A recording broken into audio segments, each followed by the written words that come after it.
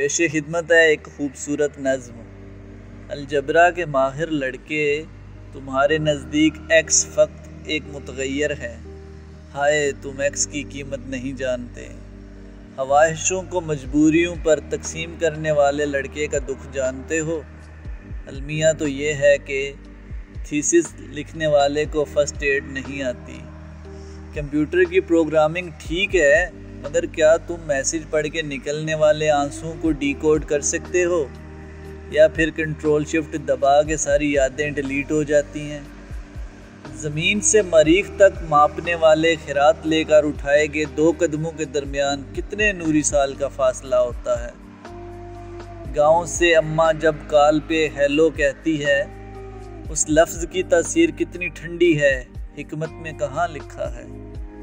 Master की degree लेने वाले को ट्रैफ़िक के कवानीन या एमरजेंसी एग्ज़िट, बल्कि खुश रहने के असूल कहाँ पढ़ाए जाते हैं? दुख सुनने की मश्क कब करवाई जाएगी?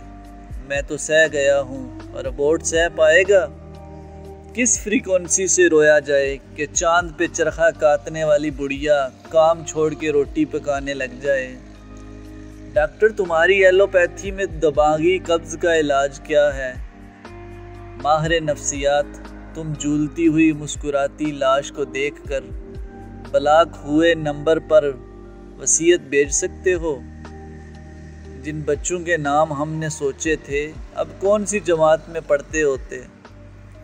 कफन में जेब का ना होना तो समझ आता है निकाह नामे में मोहब्बत का हाना क्यों नहीं है? यार, तुमने किताबें पढ़ी हैं और उनमें फ़क्त लफ्ज़ पढ़े हैं। तय दर तय चेहरे भी पड़ते तो अच्छा होता।